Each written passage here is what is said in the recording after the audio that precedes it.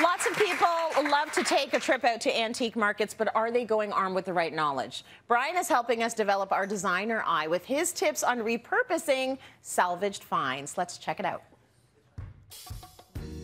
When you're building or renovating a house, don't think about buying all new materials. Think about architectural salvage. Now here I'm at the Door Store, one of my favorite stores, and they have everything you could want when renovating or restoring a house.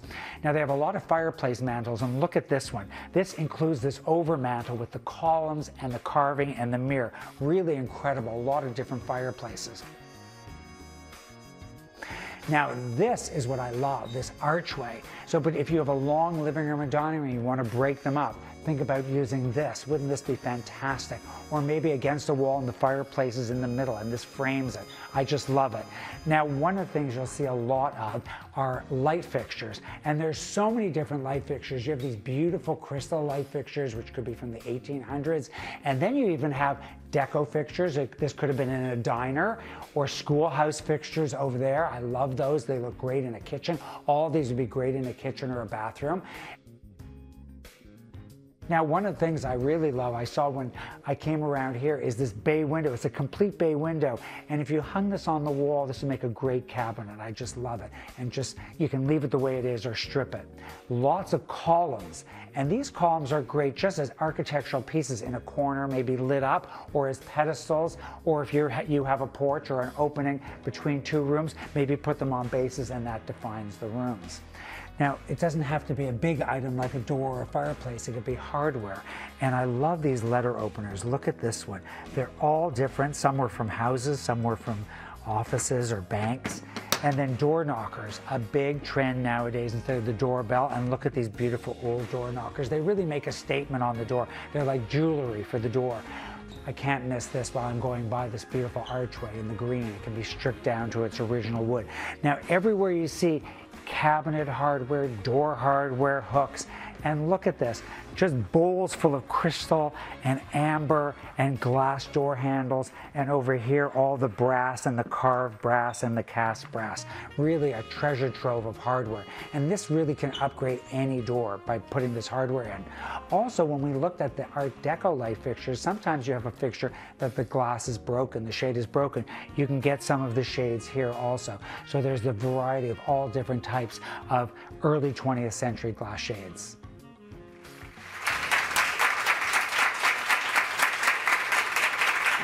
Looking like your happy place. You were having a good time in there. I love the door store. They yeah. just, you go in there, anybody that goes in there goes, wow, look at this stuff. Yeah, but you have to know. Like you have to know what you're looking for, and and that's why we wanted to do this, so you could help us out. Because if you walk into a place like that and you don't know what you're looking for, you're not armed with the right knowledge, it's just overwhelming. Correct. So if you want to add vintage into your home, where do we start? Well, start. You can start small. Yes. So we have items like this, which are beautiful old door handles. Oh, Look at that crystal gorgeous. knob. And even if you Look want to start this. little, that would be great in a bathroom, like yeah. your bathroom door handles in crystal. This is like very eh, dynasty. Very. Remember Falcon Crest? Oh, I still. Dynasty. And Joan Collins. And Joan Dynasty. Collins. Well, we're getting off track, but this would be her door But this was a good time.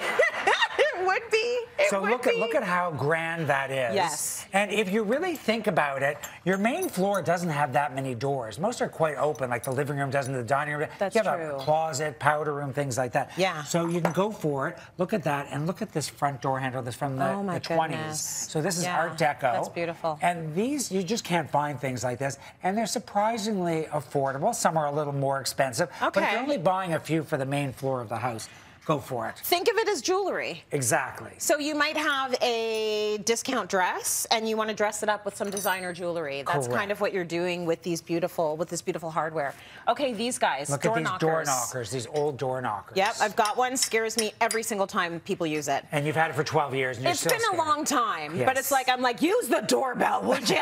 but they're beautiful, Beautiful to have. So all of these will add a lot of pizzazz to your front door. So if you have an okay front door, Yeah. Paint it a color, put a great handle on it, put a door knocker, and I always use nice. um, mail slots. I don't really use mailboxes a lot because if you're away for the weekend or you're traveling, you don't mm-hmm. want people to see no one's home, the mail is overflowing Yeah. in the mailbox. Right. So I see, even if you're just at work for the day, someone says, okay, the mail is in the mailbox. No Always have the mail slot so everything goes in. No one knows if the house is occupied or not. That's right. Very smart. What would you use a bracket like this for? Because this add, adds instant sort of old world charm. Well, in my kitchen, I did one of these for the island. So I, I mounted on the side of the island, Oh, and then I extended the counter. That's nice. And this held up the counter. So this is a great way to do it. Or these can just be shelf brackets in the den Yes. um, or either side of the fireplace. Lovely.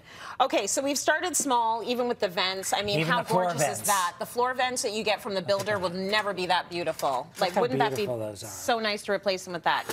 Okay, so the the kids these days, it's about secondhand everything. It's about vintage everything, but also.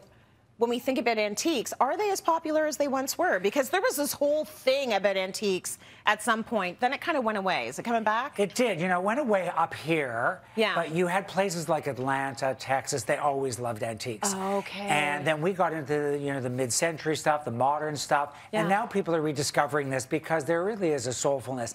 You don't want your house just to look like everybody else's. You don't want mm-hmm. the same furniture. You know, you're seeing the sameness. Yeah. So you don't have to do a lot of this, but mm-hmm. just do a few things. Yes, and when you were looking for a piece, what are we looking for? Well, you have to decide what you want. So, Yeah. for instance, I love to do when you walk in a front door, most houses have just, you know, the typical builders, closet doors to Yeah. the the front hall closet. I often will put antique doors on the closet door. Now you can do beautiful. formal ones, you can do casual ones, Mm-hmm. but th- it looks like an armoire when you walk in. So sometimes Yeah. I'll build out the frame a bit and I'll do two antique doors at the front door instead of you know the typical doors. Um, so so you have to measure that. So make sure you have the size of that because like a place like the door store would have hundreds of doors. Which is great because if you have a house like mine built in 1905, there's not one door in my house that's the same. Right. So you actually do have to go and get measurements, and it's good to know that there's all these doors out there outside of the standard. uh, Correct. door and you know there was a, there were two beautiful, incredible pine doors, very formal doors, and they were very tall. And I Yeah. thought I could use them on a closet. I could do the frame higher. When you open the closet, there's the lower, you know, wall there. Yes. But as long as they cover that, it looks so That's cool. lovely. So you could do different sizes too.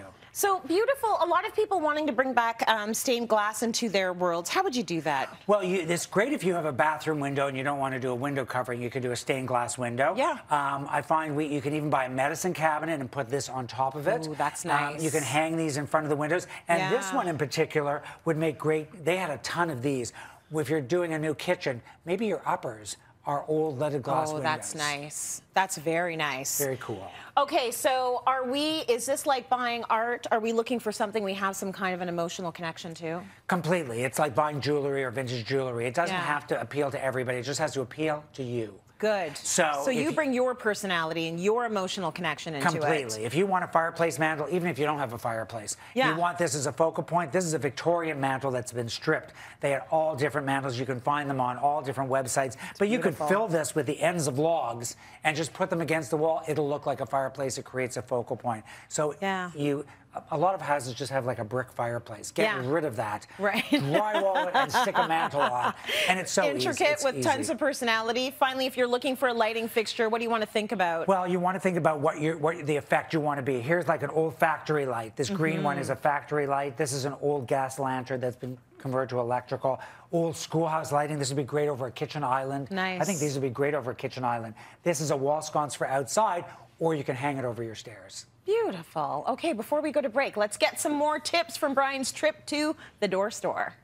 Look at the height of this door and all the carving on it. Really is a statement piece.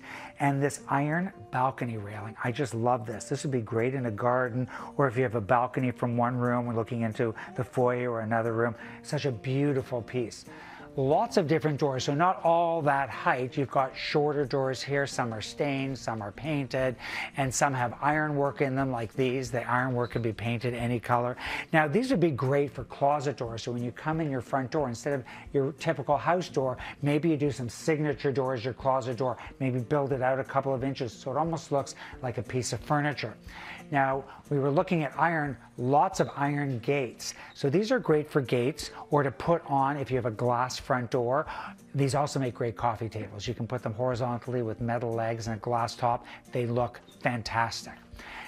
Now, these are great doors, these leaded glass doors. These would be great for kitchen cabinets. If you're building a new kitchen, maybe build the boxes around those for your upper cabinets. You can use leading, or you could use these old exterior wooden windows. I think they would just add such character to kitchen cabinets. The best tips. Let's go.